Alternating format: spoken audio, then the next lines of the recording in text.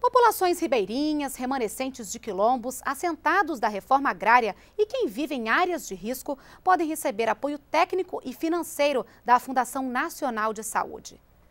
Quem tem os detalhes ao vivo é a repórter Ana Gabriela Salles. Ana Gabriela, boa noite. Boa noite, Renata. Vão ser investidos 15 milhões de reais nesse programa inédito voltado para ações de educação em saúde ambiental. Quem conversa agora com a gente sobre esse assunto é Henrique Pires, que é diretor de saúde ambiental da FUNASA. Boa noite, diretor. Como vai funcionar esse programa? Os estados e municípios precisam aderir?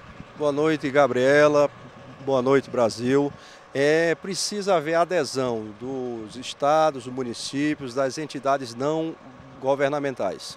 E que tipo de ação deve ser desenvolvido? O programa espera é, fomentar que tipo de ação de educação para conscientizar as pessoas? Olha, os planos de trabalho serão apresentados pelas entidades, mas nós temos que focar a melhoria da saúde através da educação de cada eh, localidade a ser beneficiada. A questão de palestras, de seminários, de reuniões, nós temos que otimizar o recurso, principalmente, claro, do Ministério da Saúde que está sendo implantado nessas comunidades. Como vão ser firmados esses convênios, com, tanto com os estados quanto com os municípios e as ONGs? Olha, vai ser através do Siconv né, e através desse edital no site do Ministério da FUNASA, do Ministério da Saúde importância de investir na educação em saúde ambiental? Como que essa educação pode melhorar a qualidade de vida e a saúde das pessoas?